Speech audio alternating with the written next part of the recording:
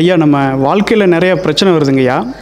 அதில் வந்து நம்ம கைக்கு மீறின நம்மளால் முடியாத செயல்களை எல்லாம் வந்து டோட்டல் மைண்டுக்கிட்ட சரண்டர் பண்ண சொல்கிறீங்கய்யா இது வரைக்கும் super conscious mind subconscious mind cosmic மைண்டெல்லாம் கேள்விப்பட்டிருக்கேங்கய்யா.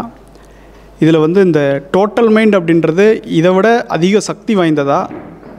இல்லை வந்து இது எவ்வளோ பவர்ஃபுல் அப்படிங்கிறத கொஞ்சம் சொல்லுங்கய்யா.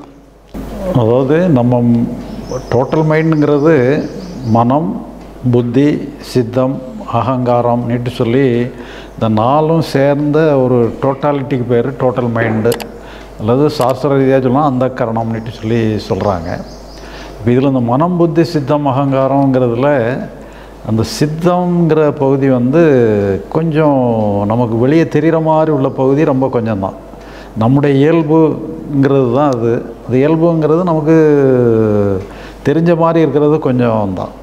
அதுலேயே என்னென்னு சொன்னால் நம்ம எத்தனையோ ஜென்மங்கள் எடுத்திருக்கலாம். அது எல்லாம் சேர்ந்த டோட்டாலிட்டி தான் அதில் உள்ள எல்லா பொட்டன்ஷியாலிட்டி மாதிரி உள்ளே இருக்குது அதே மாதிரி என்னன்னு சொன்னால் அந்த சப்கான்ஷியஸ் மைண்டுங்கிறது நம்முடைய சித்தத்தினுடைய ச அமைப்பு சப்கான்ஷியஸ் மைண்டு அந்த சப்கான்ஷியஸ் மைண்டுக்குள்ளேயும் அடியில் வந்து டீப்பர் கான்ஷியஸ் மைண்டுன்ட்டு ஒன்று இருக்குது அந்த டீப்பர் கான்ஷியஸ் மைண்டு வேறு காஸ்மிக் மைண்டு வேறு கிடையாது. எல்லாமே ஒன்று தான் அதனால் நம்ம டோட்டல் மைண்டுக்குள்ளேயே கான்ஷியஸ் மைண்டுமே அடங்கி போயிடுது அதனால் ஆனால் என்னன்னு சொன்னால் நம்ம கண்ட்ரோலில் இதெல்லாம் இருக்குதா?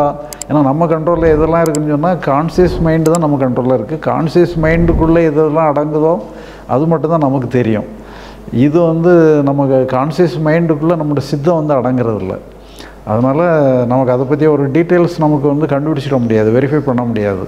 பட் இருந்தாலும் அது ஒரு பொட்டன்ஷியாலிட்டி மாதிரி நமக்குள்ள ஒரு ஒரு ஹிடன் ட்ரெஷர் மாதிரி உள்ளே இருக்குது அதனால் நம்ம அதை ரிலே பண்ணிக்கலாம். அதனால் நமக்கு வந்து சொல்ல போனோம்னா தெய்வ ஆற்றல்கள் கூட இருக்குது பிரபஞ்ச சக்தியெல்லாம் கூட உள்ளே இருக்குங்கிறத நம்ம ரிலே பண்ணிக்கலாம்.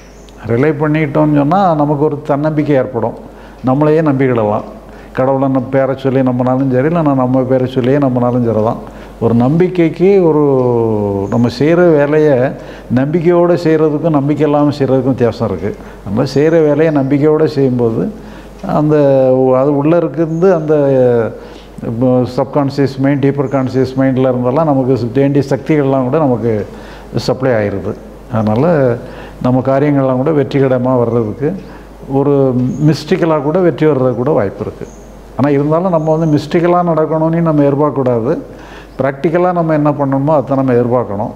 ஆனால் இருந்தாலும் அதையும் மீறி சில மிஸ்டிக்கலாக கூட சில நமக்கு சில பெனிஃபிட்ஸ்லாம் கிடைக்கிறதுக்கு வாய்ப்பு இருக்குது ஸ்ரீ பகவத் ஐயா அவர்களின் மூன்று நாள் ஞான முகாம் மார்ச் மாதத்தில் நடைபெறவுள்ளது நாள் இருபத்தி ஒன்பது மூணு ரெண்டாயிரத்தி இருபத்தி நாலு. வெள்ளிக்கிழமை காலை எட்டு மணி முதல் முப்பத்தி ஒன்று மூணு ரெண்டாயிரத்தி இருபத்தி நாலு ஞாயிற்றுக்கிழமை மதியம் மூன்று மணி வரை. இந்த வகுப்பில் அகம் புறம் என்றால் என்ன மனம் புத்தி என்றால் என்ன ஆன்மீகம் கர்மா தியானம் ஞானம் முக்தி என ஒரு மனிதனுக்கு தேவையான அனைத்து முக்கியமான விஷயங்களும் கற்பிக்கப்படும். நீங்கள் தெரிந்து கொள்ளலாம். இந்த வகுப்பில் கலந்து கொள்ள முன்பதிவு அவசியம். ஆன்லைனில் பதிவு செய்ய விரும்பினால் W W W dot Sri Bhagavat dot காமில் பதிவு செய்து கொள்ளுங்கள். ஆன்லைனில் தெரியாதவங்க தொலைபேசி எண்ணில் உங்களுடைய வருகையை பதிவு செய்து கொள்ளுங்கள். அதற்கான நம்பர் ஒன்பது ஒன்பது நான்கு இரண்டு இரண்டு ஒன்று ஒன்பது ஜீரோ ஆறு ஐந்து. இந்த நம்பருக்கு தொடர்பு கொண்டு உங்கள் வருகையை முன்பதிவு செய்து கொள்ளுங்கள்.